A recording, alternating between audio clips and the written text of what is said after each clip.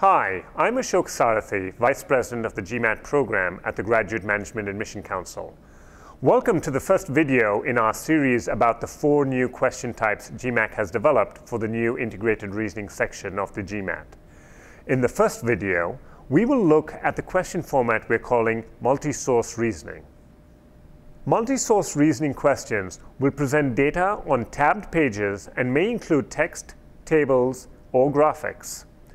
The information on the various pages may be related, but each page will offer something different. The test taker will need to process and filter this information to respond to a set of problems. These problems are designed to reflect the challenges business school students can expect to encounter in the classroom and on the job. A great deal of what we have done in developing the integrated reasoning section of the GMAT is based on comments and input we've received from members of our school advisory group and on what they told us they needed to meet the challenges of today's admissions environment.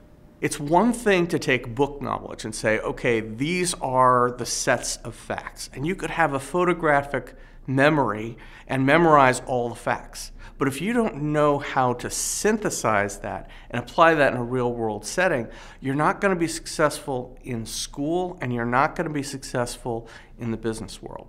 Multi-source reasoning questions will require test takers to decisively act on several pieces of information that may be ambiguous or incomplete. To handle this particular question, a test taker would need to evaluate imprecise statements to come up with definitive conclusions.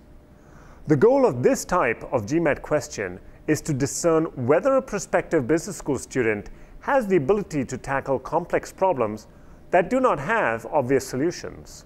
There's so many situations that are not black and white, and there, you know, situations where there isn't a clear cut answer. And so the ability to sort of look at information from a variety of sources and think about the pros and cons is so relevant to what, what's going to happen in their careers. Our video series about the integrated reasoning section of the GMAT will continue when we turn our attention to exploring another question type, graphics interpretation.